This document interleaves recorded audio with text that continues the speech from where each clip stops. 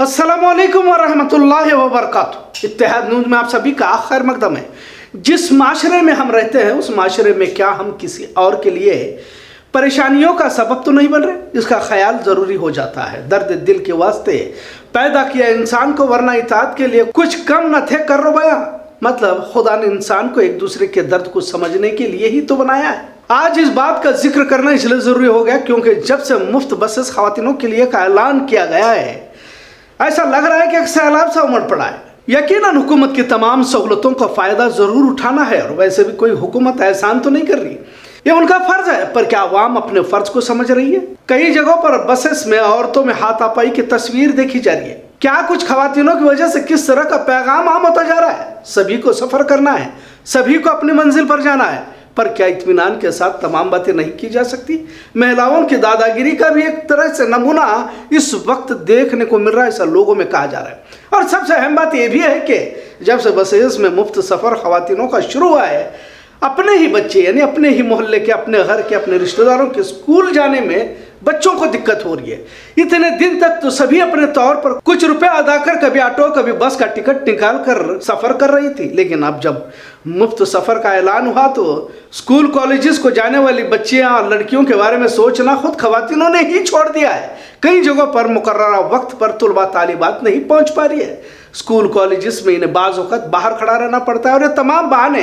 school और colleges में नहीं दिए जाते कि बस लेट हो गई या तो बस में भीड़ थी वगैरह इस तरह के बहाने वहाँ नहीं बताए जा सकते कहने का मतलब स्कूल टाइमिंग में खुद पहल कर औरतें बच्चों को आगे बढ़ाए अपने ही तो बच्चे हैं पर बड़े अफसोस के साथ कहना पड़ता है कि किसी और के बच्चों की फिक्र हम क्यों करें वाली जहनें देखने को मिल रही लिहाजा सोच को बदलकर जिस मसाइल से बच्चे परेशान हैं उन्हें हल करने की कोशिश हम सबको करनी है कई बसेस में तो कंडक्टर की भी शिकायत रही कि कुछ महिलाएं तू तड़ाक की बातें करते हुए देखा जा रहा है सरकारी मुलाजिम से एहतराम से पेश आना चाहिए ये तहजीब भी गायब होती जा रही है आप देख सकते हैं कि ये वीडियो जो वायरल हुआ है कर्नाटक बस का है जिसे नेशनल मीडिया ने भी कवर किया हुआ है कर्नाटक हुकूमत की जानब से महिलाओं के लिए शक्ति स्कीम के तहत जो मुफ्त सफर का ऐलान किया किस तरह से यहाँ पर शक्ति दिखाई जा रही है झगड़े तो हो रहे हैं मैसूर से चामुंडी जाने वाली बस में खातिनों के गिरोह आपस में लड़ पड़े इससे पहले भी बस में चढ़ने और उतरने के लिए किस तरह से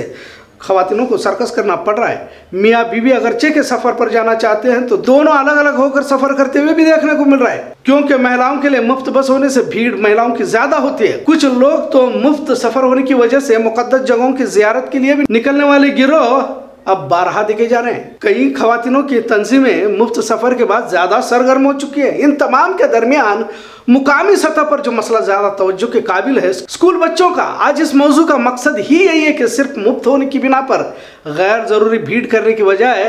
जो लोग ज्यादा मुस्तक है उन्हें आगे बढ़ाए खासकर स्कूल तलबा व तालिबात का ख्याल कर किसी तरह क्लास में वक्त पर पहुंचने के लिए खुद मदद करें हमारे समाज के बच्चे हैं और हम इसी समाज का हिस्सा है हुकूमत ने यकीन अच्छी स्कीम का ऐलान किया उस पर अमल भी किया है जरूरत है सही तरीके से इसका फायदा उठाए जिस तरह की तस्वीरें सामने आ रही हैं इससे समाज ही की तो बदनामी हो रही है और खासकर खातिनों की लिहाजा सही नज्म जब्त के साथ और खसूस तलबा व तालिबात को पहले बसों में दाखिल होने का मौका दिया जाए यही गुजारिश आज का मौजू कैसा लगा इस पर ज़रूर कमेंट करें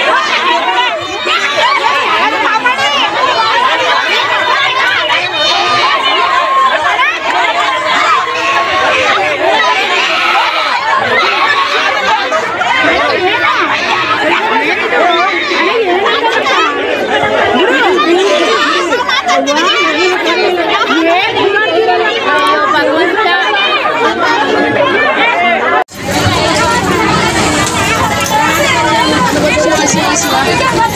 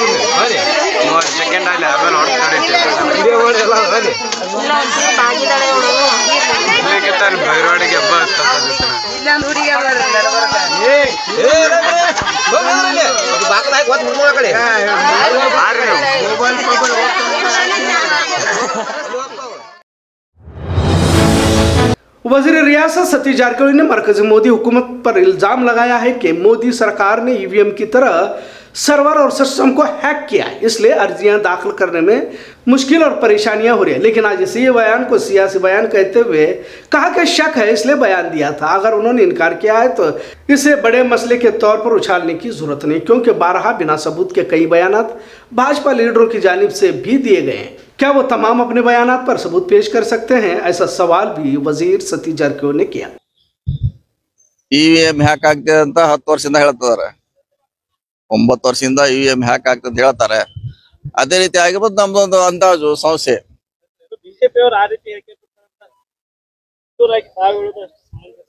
ಇರ್ಬೋದು ಈಗೇನು ಅವರು ಏನು ಯಾರು ಇಂಥ ಹೇಳಿಕೆ ಯಾರು ಕೊಟ್ಟಿಲ್ವಾ ಹತ್ತು ವರ್ಷನಾಗ ಪ್ರಧಾನಮಂತ್ರಿ ಹಿಡಿದು ಶಾಸಕರು ಹಿಡಿದು ಎಲ್ಲರೂ ಈ ರೀತಿ ಹೇಳಿಕೆ ಕೊಟ್ಟಿದ್ದಾರೆ ನಮ್ಗೆ ಆ ರೀತಿ ಅನಿಸಿತ್ತು ಹೇಳಿದೀವಿ ಅವ್ರಲ್ಲ ಅಂದ್ರೆ ಮುಗಿದೋಯ್ತು ಅಷ್ಟೇ कल उमूमन बेलगाम बंद की अफवाह फैली हुई है दरअसल बिजली में दुगने तिगने इजाफे को लेकर चैम्बर ऑफ कॉमर्स की जानब ऐसी बंद का ऐलान किया गया इससे स्कूल कॉलेजेस बंद का किसी तरह से ताल्लुक नहीं है और नहीं बाजार बंद रहेंगे बेलगाम उद्यम बाग में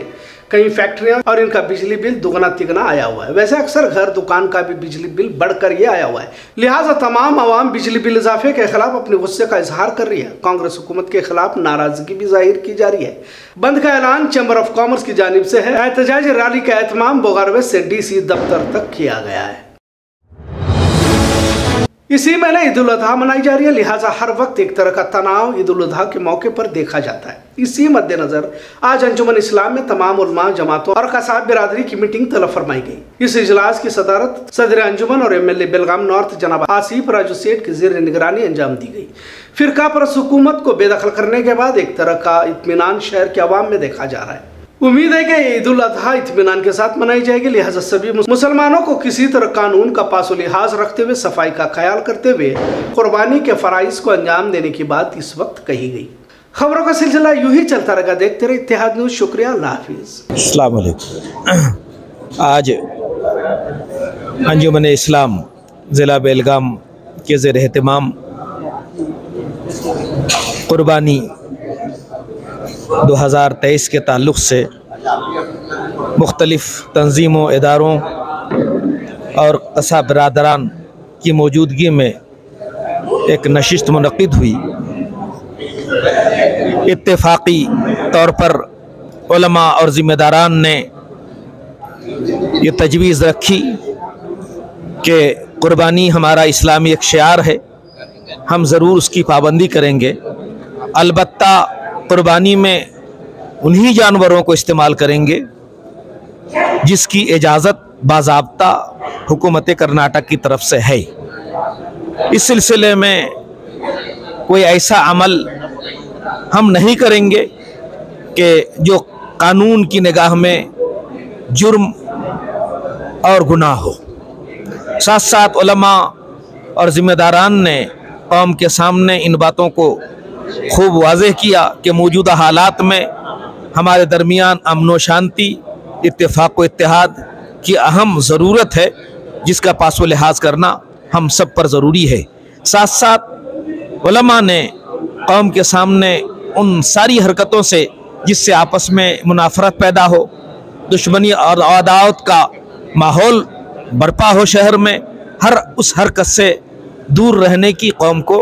पुरजोर अंदाज में तलकिन की और इतफाक़िया तौर पर सारे लोगों ने इन बातों पर इतफाक़ किया कि कानून के दायरे में शहर के अमन व शांति साथ साथ सफाई और सुथराई का ख्याल रखते हुए कुर्बानी के फरीज़े को हम अंजाम देंगे अल्लाह खैर वाफ़ियत के साथ कुर्बानी को अंजाम देने की तोफ़ी रफ़ीक़त फर्क